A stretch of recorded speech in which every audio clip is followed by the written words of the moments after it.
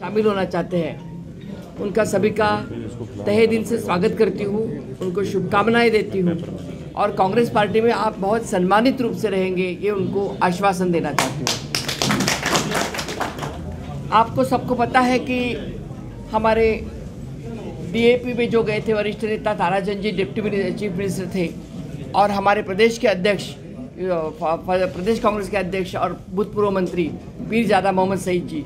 इनके साथ बहुत सारे लोगों ने दिल्ली हेडक्वार्टर्स में प्रवेश किया। और तब हमारे वेणुगोपाल जी जो हमारे जनरल सेक्रेटरी ऑर्गेनाइजेशन हैं, उन्होंने और जयराम रमेश जी जो मीडिया के जनरल सेक्रेटरी हैं, उन्होंने यही बोला था कि ये तो दो महीने की छुट्टी के लिए गए थे, वापस आ गए हैं छुट्टी सैंक्शन कर दिया हमने। तो उसी को आगे लेते हुए मैं बोलूँगी कि उसके आगे का दौर है कि जो हमारे लोग हमसे बिखर गए थे थोड़ी देर के लिए, उनको हम फिर स्वागत करते हैं, उनकी छुट्टी ऑलरेडी सैंक्शन कर दी है ऊपर वालों ने।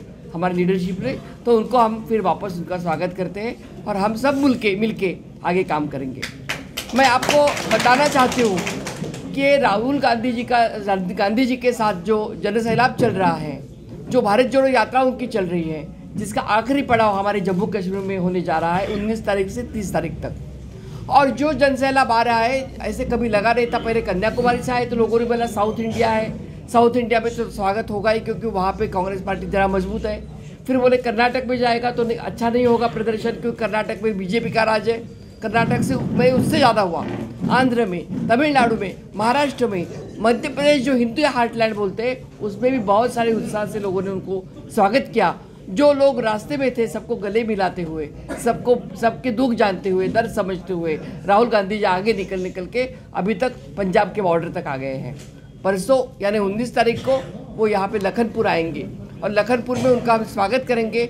उनका स्वागत करते हुए हम, हमारे जम्मू कश्मीर के जो लोकल लीडर्स हैं, जो प्रादेशिक पार्टियों के लीडर्स हैं, वो भी हमारे साथ जुड़े, जुड़ेंगे। ऐसा उन्होंने हमें इतला कर दिया है।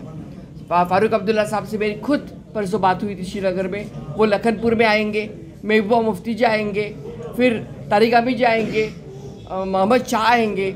और बाकी सभी लीडर्स यहाँ पे जो भी आना चाहता है, जो कांग्रेस के मूल्यों के ऊपर विश्वास रखते हैं, जो राहुल गांधी निकले हैं, उन विचारधारा पे विश्वास रखते हैं कि देश को जोड़ने का काम करना चाहिए, न कि बिखरने का काम करना चाहिए, उस धारा पे विश्वास रखने वाले सभी लोग हमसे जुड़ते जा रहे हैं और उन लोगों का हम स्वागत करेंगे। और सबको बहुत बहुत ही आश्चर्य क्योंकि मैं इंचार्ज हूँ तो मुझे सब जगह से फ़ोन आते हैं। क्या जम्मू कश्मीर में यात्रा ठीक होगी? वहाँ लोग आएँगे? बाहर ठीक से चलने देंगे।